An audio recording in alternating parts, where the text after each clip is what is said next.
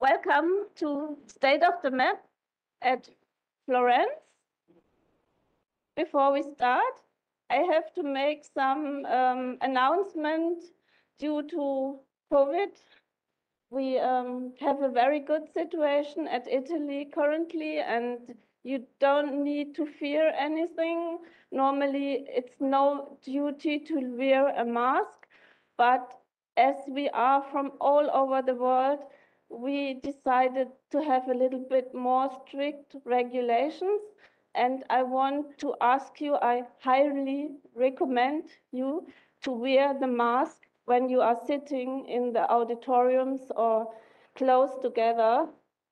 We have air filters, so they are they are made after the after the pandemic, so they are really new and I hope it's all good. But we wear the mask in inside here. And outside in the foyer, during the meals, you don't need to wear them and you you can wear, we, we recommend, but you don't have to. Um, now, I want to um,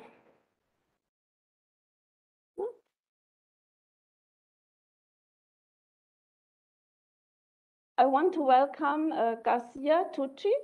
She is from the University of Florence and she is our host and we are really thankful to be at her university and she is head of a research group of geomatics.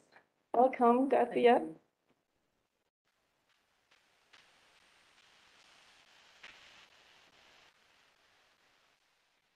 Good morning.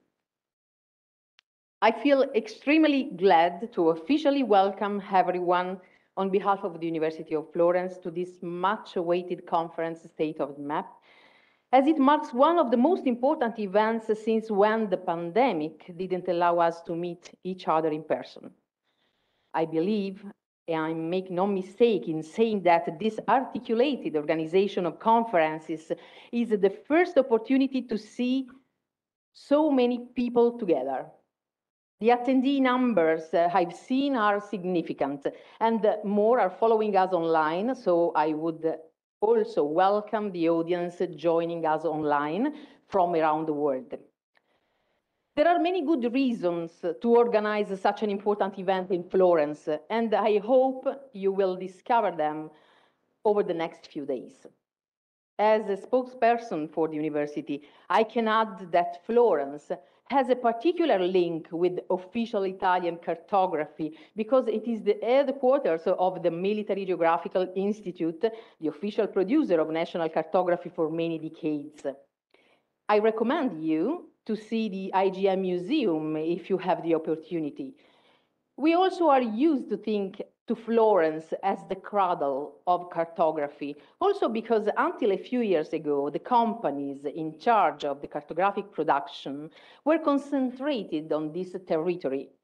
More recently, a lot of things changed, and from a top-down approach, we have moved on here in a completely reversed situation, a collaborative project to create a free, editable, digital, open, dynamic geographic database but which, without a doubt, has its roots in that world. The University of Florence was founded in 1321, and it's one of the oldest in Italy. It cooperates with international research institutions and welcomes students and teachers all over the world, promoting research, study programs, and conferences. It's organized in 12 schools and it is honored to host this important moment of comparison and the sharing of the state of the art on such an essential topic. This conference features a uh, rich program before we kickstart the conference, I would like to express our gratitude and our thanks to all members of the organization committees, the International Scientific Committee, the collaboration partners, the volunteers, and a special thanks to the chair of the conference for their tremendous efforts to organize this conference successfully. I hope that these three days will inspire ideas and discussions around how we can map our planet in a better way. Thank you.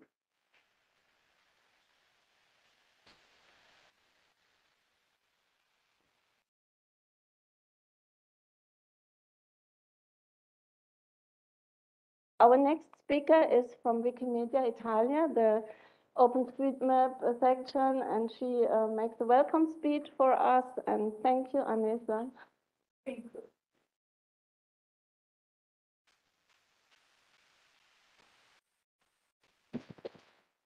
everyone, and welcome.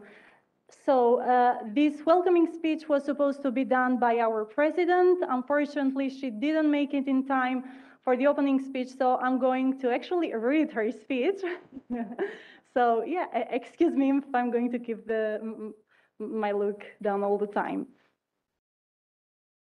So, on behalf of Wikimedia Italia, I'm delighted to welcome you at State of the Map here in Florence. Wikimedia Italia has been the local chapter of the OpenStreetMap Foundation since 2016. OpenStreetMap and the Wikimedia projects are part of the same ecosystem of free knowledge and open data. But having the projects connected in one organization is exceptional, and we are very proud of it and grateful for it.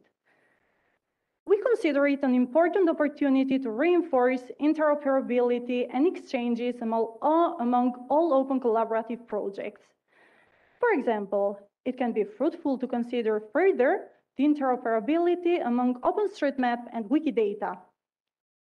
Please allow me to thank all individuals and institutions who made the collaboration between Wikimedia Italia and OpenStreetMap possible, who contribute to OpenStreetMap in Italy and the world, and who have supported the organization of State of, state of the Map. Cooperation is always a challenge, and online collaborative projects know it very well. Co collaboration is difficult, it requires efforts, and it needs to be kept in exercise like a muscle.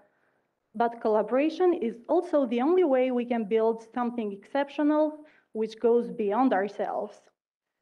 Gatherings are a precious occasion to learn, discuss, exchange, and meet each other. And for online collaborative communities are very important to reinforce and facilitate these collaborations.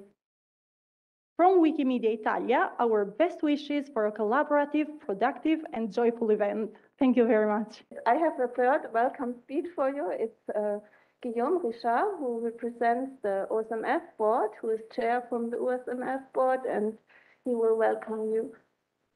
Thank you, Christina. Um, I want to first of all congratulate you all for being here. Uh, it's the first state of the map physical since 2019, and uh, it, it's it's fantastic to already see a couple familiar faces, faces I'm seeing from online physically for the first time, and people who are here for the first time who haven't met yet. Uh, I just wanted to have a who's here for the who's at a state of the map for the first time? Can we have a show of hands? Welcome, welcome. Uh,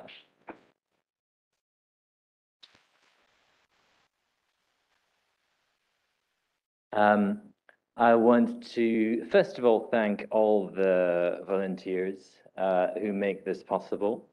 Uh, I also want to thank uh, the State of the Map Working Group in particular and uh, the local team. Uh, I want to have a round of applause for them. Thank you very much.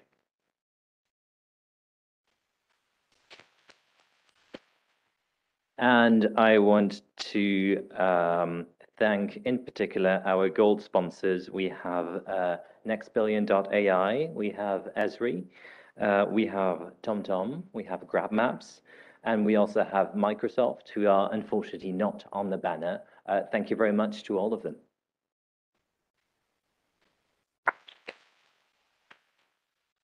Uh, Florence is a fantastic place to have a state of the map. I, am not sure if you've already had the time to go around, but it's uh, it's a fantastic place to map, to explore the little streets. Um, and it's also a place where Galileo is active, so that's exciting. And um, there's also at the Uffizi, um, the, the, museum, uh, a fantastic map room. If you have the time, go explore, go look at the map room. It's like 16th century maps of the region. It's fantastic. Um, the part of the conference I, I'm most most looking forward to is you see the schedule, you see all the all the things that's going to happen in the in the rooms, but outside of the rooms, the the hallway track is is the best part of the conference. So go around, especially if you're here for the first time, go out, chat with people. We're all here for that reason. And um, yes, um, I hope you have a fantastic state of the map. And thank you very all for being here.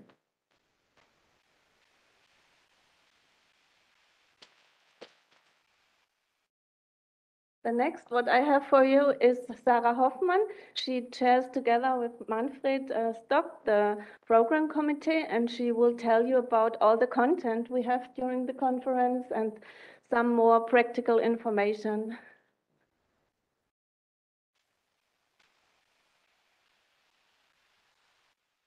Okay, so well, for me also very welcome.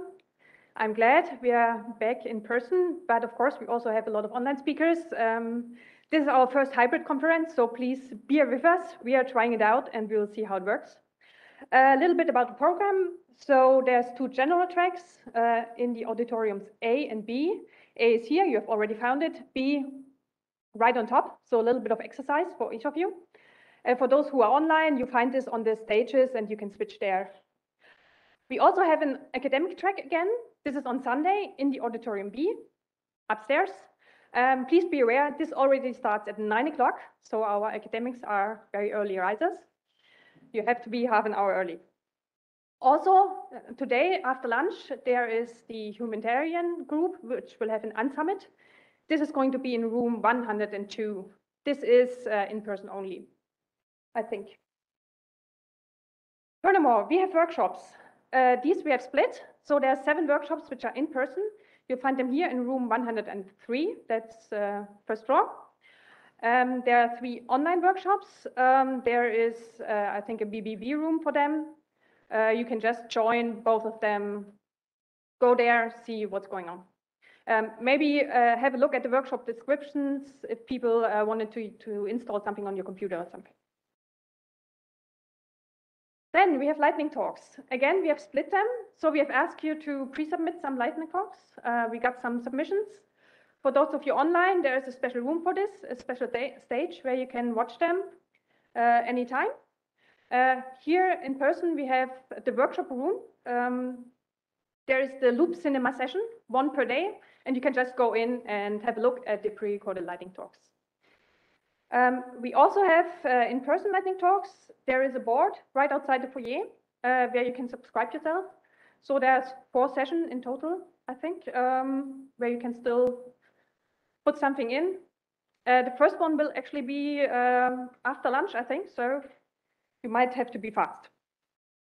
Um, please, uh, for those who want to do this, you can't use your own computer. Please, uh, if you have slides, hand them in before the beginning of the session so we can put them on the computers here. Then we also have room for self-organized sessions. Um, so online, you find breakout rooms, um, one, uh, one, two, and three. Uh, there is uh, go to the wiki and uh, write in there if you want to do something. Um, in person, again, there's a whiteboard uh, outside in the foyer where you can put in your sessions. Uh, so there's two rooms there. We'll start with room 101. And if there's too much interest, there's also room 202, which is actually on the second floor, so a little bit further to walk. Important part, Wi-Fi. Uh, you should have received an email which gives you a username and a password, which you have to use. Uh, we forgot to tell you where to connect actually to. Uh, so that's only free Wi-Fi where you have to connect to. If you have a hand and neck problem now, because you need to access your email in order to get your Wi-Fi, um, please go to the info desk and ask them for help. They will sort this out. Also, because we're a hybrid person uh, conference, um, each of you, also those who are here in the room, will have access to Venueless, our online platform. That means you can also chat with people who are only here, uh, who are not here in person. Um, you also have a schedule there. Um, Venueless, uh, you had a link to your ticket in pre-talks, and you have to go to this link, and there you now find the join the conference uh, button. Click there, and it will lead you to on uh, Venueless, and you can join there, and uh, you're there. What we want to try uh, this year is that also people who are here in person ask their questions via Venueless. We will collect them from the people who are um, joining us online, but we'd also like to you, when you have questions during the talk, just type them in there. So what you do is um, you go into the uh, auditorium. Normally what you see, you should have a very small screen there with the video, so you shouldn't see a video. If you see a large video and nothing else, just try to reload the page. This should work, and then it's small. Um, you have two things. There's the chat, where you can also chat with people who are online uh, or amongst you, and there's the question part. And just type in your questions, and the moderator will collect them and then uh, talk with the speaker.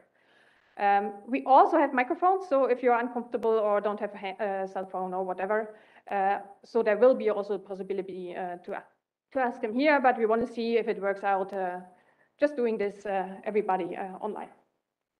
Um, one more thing for people who are here. So if this reloading still doesn't work and you still have this huge video, please uh, in Venueless go to your settings, that's down here, and then see if this auto-play streams when entering stages is on. If it's on, that's wrong.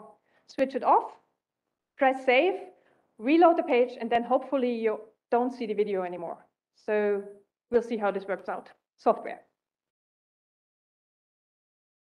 Uh, you can also follow us on Telegram.